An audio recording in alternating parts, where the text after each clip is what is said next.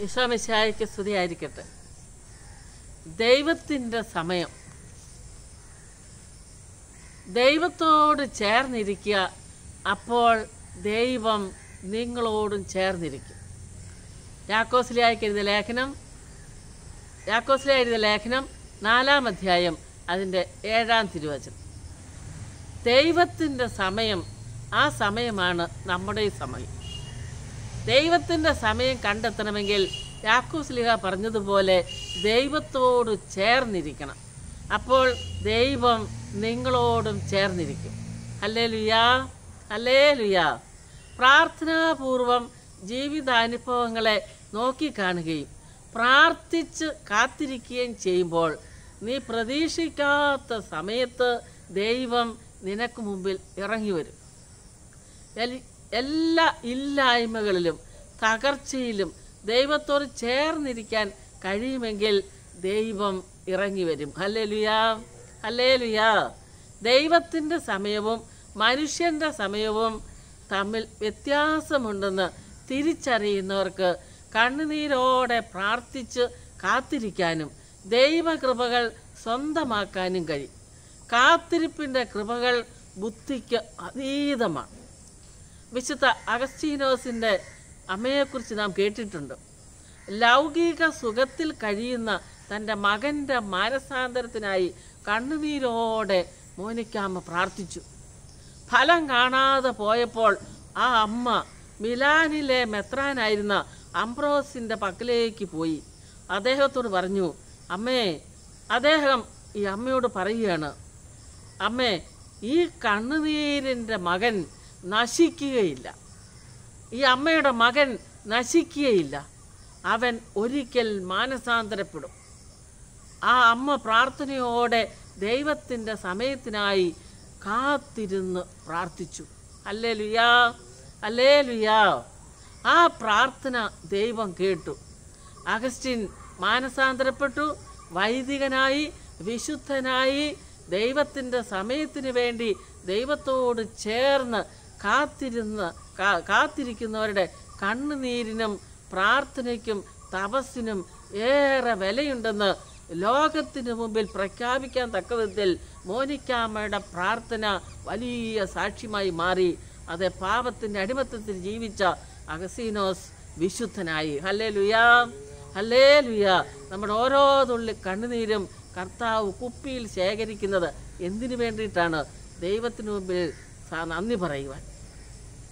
പ്രഭാഷകന്റെ പുസ്തകം അമ്പത്തൊന്നാം അധ്യായം അതിന്റെ മുപ്പതാം തിരുവചനം പറയുന്നുണ്ട് നിശ്ചിത സമയത്തിന് മുൻപ് ജോലി പൂർത്തിയാക്കുവിൻ.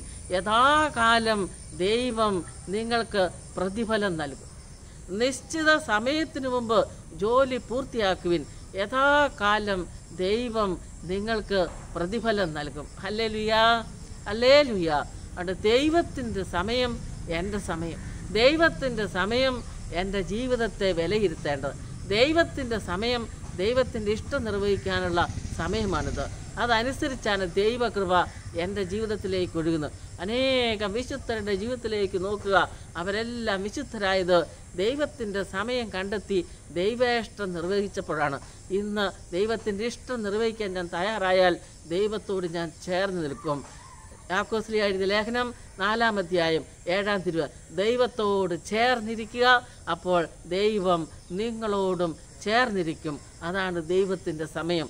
ഈ വചനം കേട്ട എല്ലാവരിലേക്കും കുടുംബത്തിലേക്കും വ്യക്തികളിലേക്കും പ്രവർത്തന മണ്ഡലങ്ങളിലേക്കും ദൈവത്തിന്റെ വലിയ അനുഗ്രഹം കൃപ ഒഴുകട്ടെ എന്ന് ആശംസിക്കുന്നു പ്രാർത്ഥിക്കുന്നു. നമുക്ക് നല്ലൊരു സാക്ഷ്യത്തിലൂടെ ഇത് അനുഭവിക്കാം.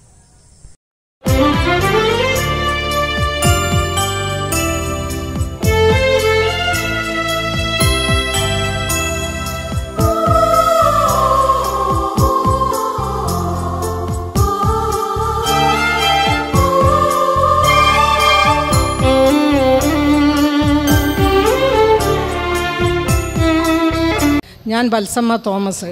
കഴിഞ്ഞ ഇരുപത് വർഷമായി ഞാൻ Bangalore saint Joseph and saint Claret ചർച്ചിലെ saint saint Claret and saint Joseph ചർച്ചിലെ ഒരു ഇടവക അംഗമാണ്.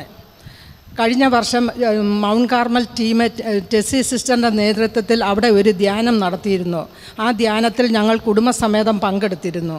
അപ്പോൾ എന്റെ മകന് ഗൾഫിൽ പോകാൻ വേണ്ടി വിസയ്ക്ക് അപ്ലൈ ചെയ്തിരുന്ന സമയത്ത് ആ ധ്യാനത്തിൽ പങ്കെടുത്ത് ഞങ്ങൾ എല്ലാവരും ചേർന്ന് നല്ലപോലെ പ്രാർത്ഥിച്ചു. കൗൺസിലിങ്ങിനും പോയി. സിസ്റ്റർ പറഞ്ഞു ഈ ധ്യാനം കഴിഞ്ഞ ശേഷം ബിസ ധ്യാന സമയത്ത് തന്നെ സിസ്റ്റർ പറഞ്ഞു ബിസയുടെ കാര്യം ശരിയായി.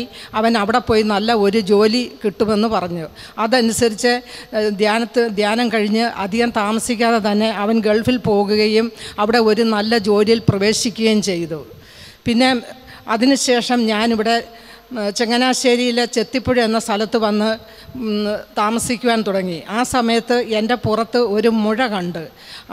ആ മുഴ ഡോക്ടറെ കൊണ്ട കാണിച്ചപ്പോൾ ഡോക്ടർ പറഞ്ഞ് അത് നീര് ചുമക്കുകയും നീര് വെക്കുകയും ചെയ്യുകയാണെങ്കിൽ ഇവിടെ കൊണ്ടുവരണമെന്ന് പറഞ്ഞ്.